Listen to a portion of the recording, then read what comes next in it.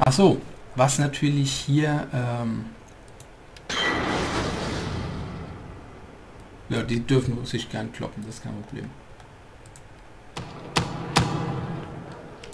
Genau, ich muss natürlich auch oft Gebäude abreißen, die ich von dem Gegner erobert habe, weil ich mit denen nichts anfangen kann. Ja, man sieht es ja. Manche kann ich umwandeln, allerdings macht das auch nicht immer Sinn. Also viele von diesen Gebäuden sind ja ganz schön und gut, wenn ich umwandeln könnte, aber es macht einfach aus meinem Wirtschaftsstreben heraus keinen Sinn. Aber man sieht, das hat jetzt ordentlich was gebracht, die, die, ähm, die neuen Provinzen, dass ich die entwickle. So allmählich fangen die an Früchte zu tragen, jetzt wo hier fertig ist. Beziehungsweise was natürlich Geld bringt, ist auch die Zerstörung von den Gebäuden, die ich erobert habe in den Provinzen. Also dadurch, dass ich hier Gebäude abreiße, dafür bekomme ich auch Geld. Ja, wenn ich hier draufklicke, kriege ich auch Knete. So. Da ich hier die entsprechenden Rekrutierungsgebäude und habe reguläre Truppen, kann ich hier halt noch nichts rekrutieren. Ich könnte hier nur Söldner, weil die meisten dieser Söldner wirklich scheiße sind. Die, glaube ich, sind vielleicht gar nicht schlecht. Die kabadogische schwere Kavallerie, die Schockreiter.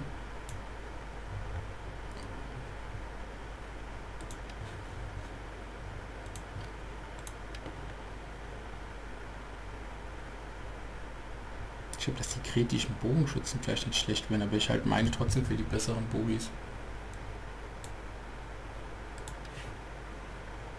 So, wie gesagt, das muss jetzt alles noch nach und nach entwickelt werden. Hier kann ich jetzt schon die ersten, hier sind die Gebäude schon fertig in Asia. Hier könnte ich jetzt äh, wen ausheben? Die 15. Und die 16. Die 16 habe ich schon ausgehoben. Man, äh, viele äh, viele äh, Einheiten gibt es auch an anderen Stellen. Also es ist nicht festgenagelt, nur eine Provinz gibt eine äh, Legion, sondern es gibt äh, manchmal vier oder fünf oder sechs äh, Regionen, die stellen alle Truppen für eine Legion, also in dem Fall eben von mir aus für die 16. 16. Gallica kann man hier ausheben, äh, ein Teil von Gallien oder so in Spanien irgendwo. Ach, guck mal an. Hm?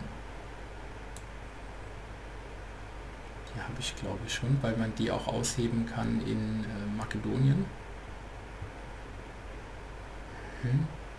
Karia. Karia. Also wurde auch ein enormer Aufwand betrieben für die Recherche von den Einheiten. Also in, meiner, in meinen Augen steht diese Mod daher auch ganz klar in der Tradition für Europa Barbarorum und Roma Surrectum 2, was meiner Meinung nach die beiden besten Rom-Zeit-Mods für Rom 1 waren. Äh, es gab ja eine ganze Reihe von ganz wunderbaren Rom 1 Mods, die habe ich ja jetzt viele davon mittlerweile auch im Faktor Games Archiv gezeigt. Ein paar hatte ich noch gar nicht gezeigt. Das wollte ich ja noch machen. Stimmt ja. Hm. Mal gucken, wie ich dazu noch komme. Ähm, ja. Das könnte ich jetzt noch zeigen. Wir könnten Kampf zeigen oder so. Wobei, ich habe ja schon die große Schlacht geschlagen. Achso, wir haben ja relativ häufig auch, äh, also in meinem Fall Ausbrüche von Typhus und äh, sonstigen Krankheiten. Hier sieht man zum Beispiel, die Provinz äh, hat äh, Nahrungsmittelprobleme, weil zurzeit ja der Umbau stattfindet und die Versorgung einfach nicht steht und zudem auch noch die Truppen hier drin stehen in der Masse. Dadurch ist hier das, sind die Provinzen schnell leer gefuttert. Dadurch haben wir natürlich die entsprechenden Effekte. So. Und was hier natürlich auch wichtig ist, ähm, das hier wirklich immer im Auge behalten und ihre Treue. Und das wirklich auch nutzen. Zum Beispiel hier der Nasebär, der ist jetzt am, am rumnöhlen. Ja, der ist unzufrieden, allerdings hat er auch keinen Einfluss. Also der ist nirgendwo Gouverneur oder, oder General. Das heißt, es ist mir egal, ob er unzufrieden ist. Aber ansonsten sollte man das auch wirklich immer ausnutzen. Hier mit Secure äh, Loyalty, äh, mit den entsprechenden Charakteren, dass man die sich bei Stange hält, die Leute. Und äh, wertvolle Generäle oder Gouverneure auch ruhig mal in die Familie einheiraten lassen, äh, wenn man die entsprechenden Töchter hat hier äh, im Stammbaum. Also das ist wirklich wichtig und das ist auch gar nicht äh, zu unterschätzen, wie schnell das übelst nach hinten losgehen kann. Äh, das kennt man ja aus Attila mit den Bürgerkriegen, die man da ruckzuck hat. Gut, also wie gesagt, schwi deutlich schwieriger, äh, deutlich herausfordernder als äh, Rom 2, aber wie gesagt, manchmal auch sehr lohnenswert, kann ich nur jedem ans Herz legen, der Rom 2 mag und der gern römische Kampagnen spielt. Ich habe mich hier äh, mit größter Begeisterung festgesuchtet gehabt eine Zeit lang. Zurzeit bin ich ein bisschen weg davon, weil ich zuletzt äh, viel äh, Warhammer 2 gespielt habe. Äh, wieder. Aber bei Gelegenheit setze ich hier die Kampagne natürlich fort. So. Jetzt haben sie hier die Truppen verschoben. Jetzt zweite ist eigentlich schon nicht wieder kampfbereit. Man muss auch oft gucken, dass man die Legion zusammen einsetzt. Da ich ja kleinere Verbände habe, also äh, so 12 bis 14 ist so eigentlich eher die Regel. Irgendwo dazwischen, also man sieht 13, 14 ist eigentlich die meisten meiner Legionen zurzeit. Ähm, setze ich meistens zwei gleichzeitig ein in der Schlacht oder bei einer Belagerung, um damit trotzdem die zahlenmäßig äh, entweder Überlegenheit oder, ähm, oder Gleichstand zu erzielen. Rücken wir mal vor mit der zweiten. Ja, hier ist keiner drin.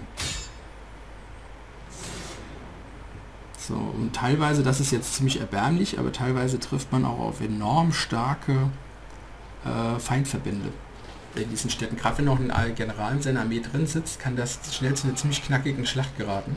Das ist natürlich jetzt Pillepalle. Wir können die jetzt trotzdem mal schlagen.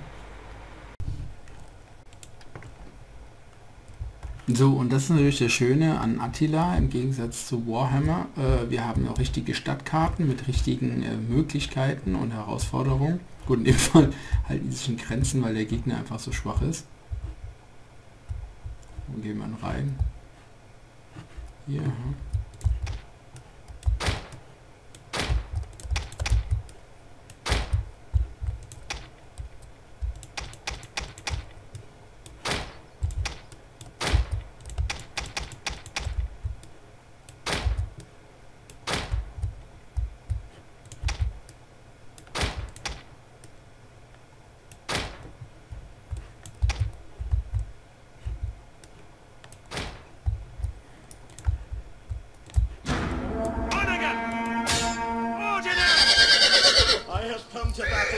Forefathers in the expectation of victory.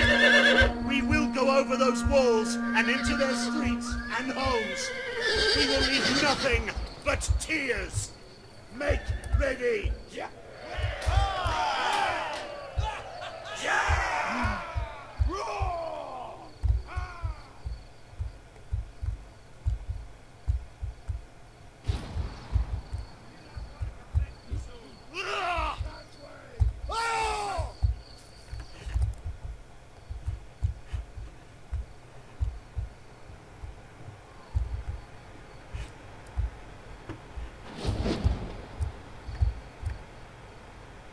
Die Onager sind halt übelst ungenau. Deshalb bin ich mir ganz dankbar, wenn ich äh, äh, zwei Legionen dabei habe bei so einem Angriff. So, und die Einheiten unterscheiden sich also nicht nur auf der strategischen Karte durch ein nettes kleines Bildchen, sondern die unterscheiden sich auch wirklich deutlich, in der, nicht nur in den Texturen von ihren Schilden optisch, sondern auch der, von der Ausrüstung, äh, von, den, von der Form der Helme, der teilweise der Kettenhemden, Rüstungen, Waffen, sind zwischen den verschiedenen äh, Legionen offensichtliche Unterschiede zu sehen.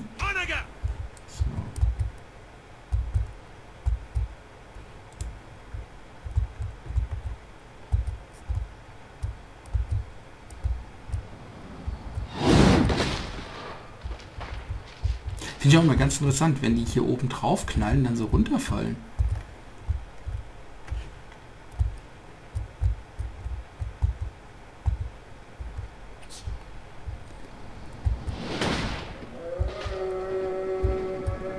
Das armenische Fußvolk hat mich bis jetzt nicht sonderlich beeindruckt, aber ich habe jetzt ein, zwei extrem harte Schlachten geschlagen gegen armenische äh, Feldarmeen, die entsprechend äh, Kavallerieverbände hatten und die waren schon knackig drauf, also die armenische Kavallerie.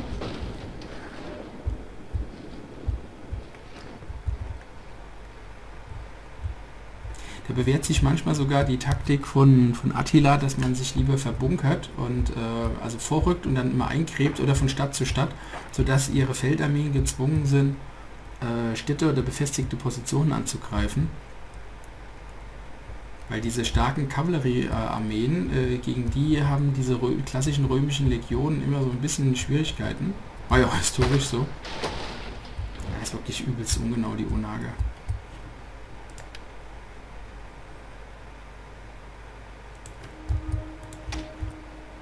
kümmern uns mal gleich weiter um den Turm. Aber jetzt schießen wir vielleicht besser erstmal tatsächlich ein Loch hier irgendwo rein.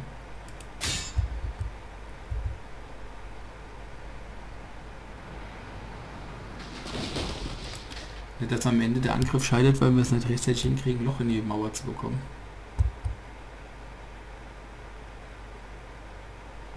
Weil die Munition alles von dem Onagel.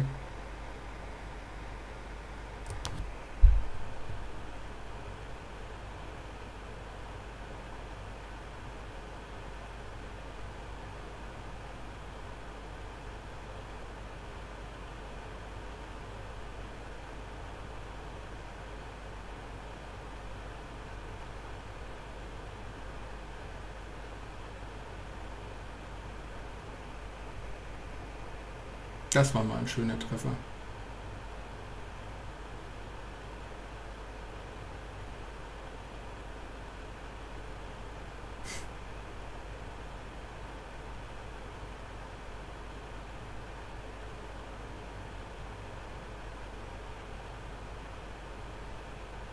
Mal gucken, ob sie es rechtzeitig schaffen oder ob tatsächlich die Munition vom Onaga früher zu Ende ist.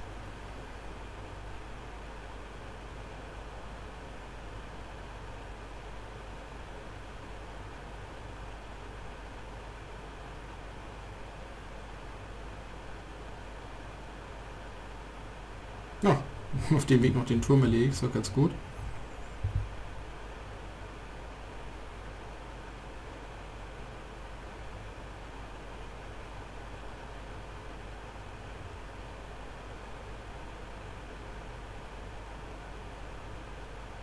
Komm, Kinder, enttäuscht mich nicht.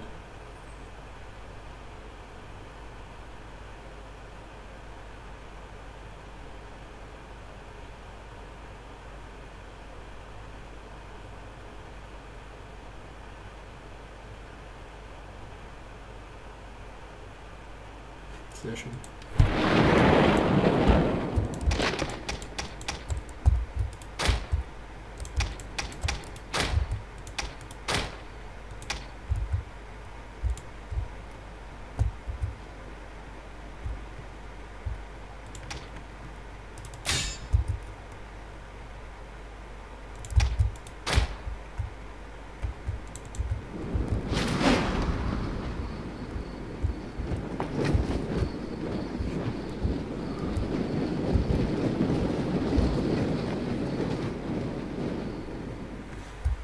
Auf jeden Fall sind die Triarier so eine Art zeremonielle Einheit natürlich, aber sie sind natürlich, ich behalte es natürlich auch, weil es eine, wirklich eine sehr schöne, äh, kampfkräftige, schwere Speerträgereinheit ist, die hier und da wirklich äh, ganz entscheidend gekämpft hat, bei, gerade gegen Kavallerieverbände.